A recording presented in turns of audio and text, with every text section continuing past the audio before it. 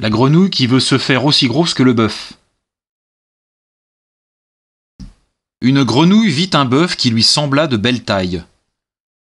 Elle, qui n'était pas grosse en tout comme un œuf, envieuse, s'étend et s'enfle et se travaille pour égaler l'animal en grosseur, disant Regardez bien, ma sœur, est-ce assez? Dites-moi, n'y suis-je point encore Nenni. M'y voici donc Point du tout M'y voilà Vous n'en approchez point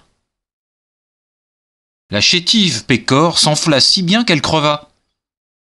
Le monde est plein de gens qui ne sont pas plus sages. Tout bourgeois veut bâtir comme les grands seigneurs, tout prince a des ambassadeurs, tout marquis veut avoir des pages.